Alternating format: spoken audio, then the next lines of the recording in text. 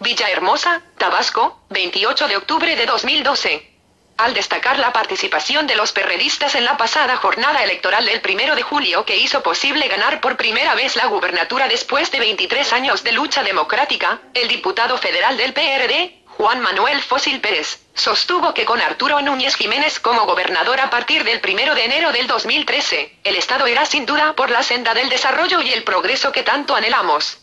al destacar como orador en el cierre de la gira de agradecimiento del gobernador electo, celebrado en la nave 3 del Parque Tabasco, el legislador perredista recordó que hace cinco años, cuando era presidente del Comité Directivo Estatal del PRD, la entidad estaba inundada, y desde entonces la gente mostraba su malestar contra el gobierno en turno que no supo cumplirles, pero ahora, de la mano del PRD y del licenciado Arturo Núñez Jiménez como gobernador, sabemos que las cosas van a cambiar. El también presidente de la Comisión de Desarrollo Metropolitano de la Cámara de Diputados sostuvo que el PRD, después de 23 años de lucha social, con éxodos democráticos y de abanderar las causas de los más desprotegidos, por fin logró llegar al gobierno de Tabasco, por lo que tenemos una responsabilidad muy grande con nuestra tierra, con nuestra gente, y sabemos que nuestro próximo gobernador sabrá cumplir la encomienda que le dieron los tabasqueños el pasado primero de julio,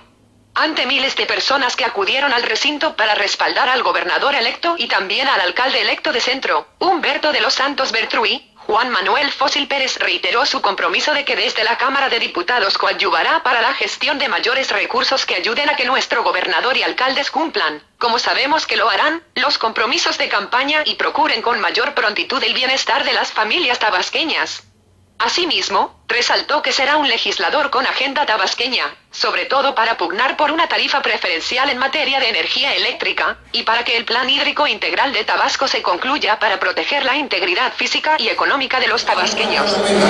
Yo tengo la confianza de que con el licenciado Arturo Núñez va a haber un gobierno honesto, va a haber un gobierno eficiente,